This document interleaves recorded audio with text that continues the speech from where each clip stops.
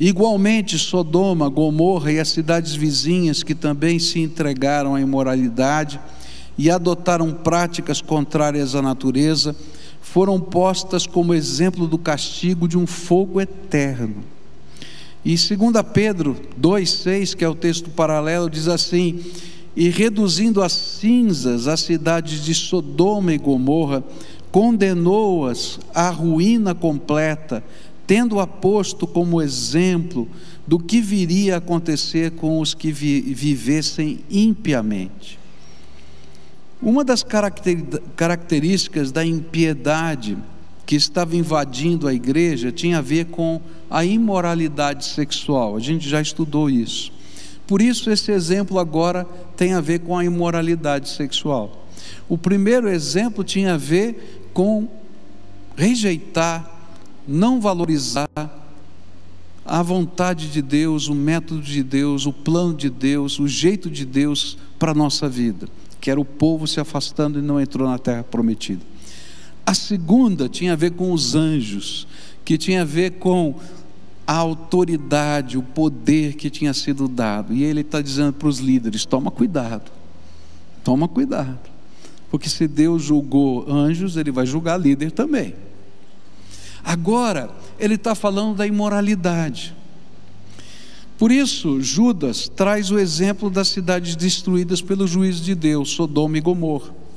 E ainda que esse não fosse o único pecado destas cidades, porque a Bíblia vai revelar para a gente, no livro de Ezequiel, que um dos pecados dessa cidade era a falta de cuidado para com os pobres, o outro pecado era a arrogância e o outro pecado era abominações que praticavam. Certamente a ênfase de toda a Bíblia, quando trata dessas duas cidades, era para, para com os pecados eh, sexuais, especialmente o homossexualismo e o estupro. Porque quando a gente lê a história lá em Gênesis, não é? Vão aparecer os anjos, lembra? E eles dizem lá para Ló: Olha, nós queremos nos deitar, dormir com esses anjos, manter relações sexuais com ele. E aí tem muita gente dizendo: Ah, não era bem isso, olha, é quebra da hospitalidade. Mas não era, não, porque depois ele diz assim: Eu tenho filhas virgens, durmam com elas, mas não durmam com esse homem, porque ele está debaixo da minha casa. E ele está falando disso, tá?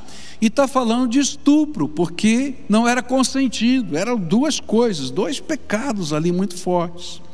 E assim, deste modo, esta ênfase fica clara nas palavras de Judas, quando diz assim: também se entregaram à imoralidade e adotaram práticas contrárias à natureza. Por isso eles foram postos como exemplo do castigo. E o objetivo de Judas era mostrar o mesmo que Paulo já falara à igreja de Corinto, que vivia o mesmo problema de imoralidade sexual no meio da igreja. O que a Bíblia nos ensina é que toda forma de impiedade será julgada pelo Senhor. Mas há aqui uma grande palavra de esperança. Mas toda forma de impiedade pode não somente ser perdoada, mas transformada pelo poder salvador de Jesus. Porque a impiedade é fruto do pecado, e todo pecado pode ser transformado. O que a Bíblia está dizendo vai de encontro ao pensamento moderno que vai dizer para a gente que toda forma de tara sexual que você venha viver está ligado à sua natureza e não dá para ser transformado. Então, qual é a, a grande é, batalha gay hoje? Não é dizer, olha, é, essa é uma orientação sexual, você nasceu assim e então ninguém deve mudar do seu jeito, só tem que se conformar com isso e aceitar. Mas a Bíblia não olha para isso da mesma maneira.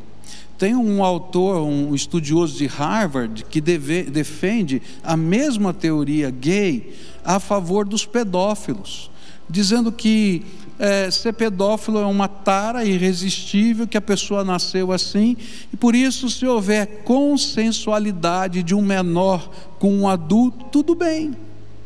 É um doutor de Harvard que defende essa bandeira. Eu estou falando de coisas concretas que estão aqui nos dias de hoje. Tá? É, há pessoas que defendem toda forma de sexualidade. Para a gente não existe abuso, só existe consenso. Então, qualquer tipo de relacionamento sexual desse jeito, daquele jeito, com árvore, com planta, com o que você quiser, isso é problema seu e acabou.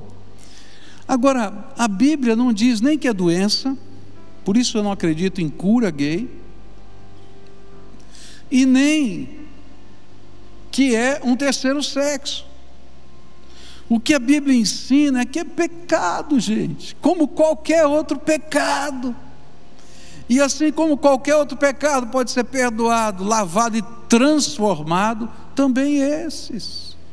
E é por isso que Paulo, quando trata de imoralidade na igreja, ele faz com uma sabedoria que só Deus poderia dar. Ele diz assim, 1 Coríntios 6, 9 a 11: Ou vocês não sabem que os injustos não herdarão o reino de Deus?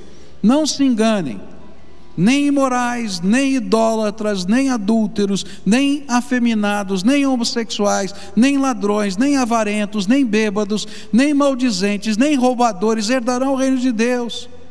E aí ele vai dizer assim: alguns de vocês eram assim, mas vocês foram lavados, foram santificados, foram justificados no nome do Senhor Jesus Cristo e no Espírito do nosso Deus.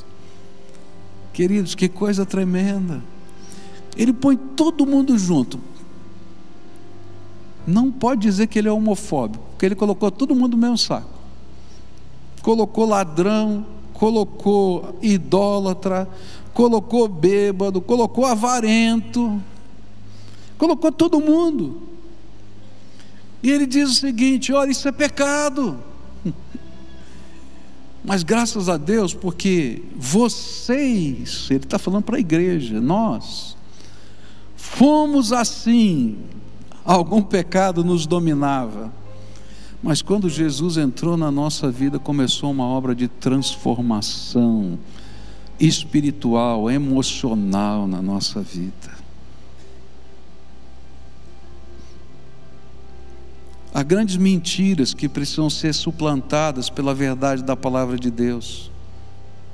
E uma das mentiras é que nós precisamos aceitar como naturais o que de fato a Bíblia chama de rebelião contra a criação divina.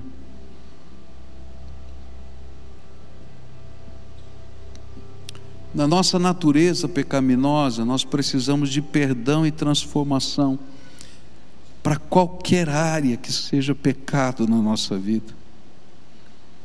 Uma vez eu estava num programa de televisão conversando com alguns ativistas do movimento gay aqui de Curitiba e ele me acusou assim. Ele disse: É porque vocês, pastores, nos chamam de pecadores. E eu disse para ele: Então você não conhece a pregação, porque a Bíblia diz que todos nós somos pecadores, e o principal sou eu. Paulo disse isso. E todos nós precisamos da graça de Deus para perdão e transformação dos nossos pecados.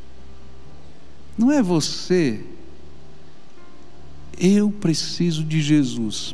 Cada um tem uma área da sua vida que precisa ser transformada e com a qual a gente luta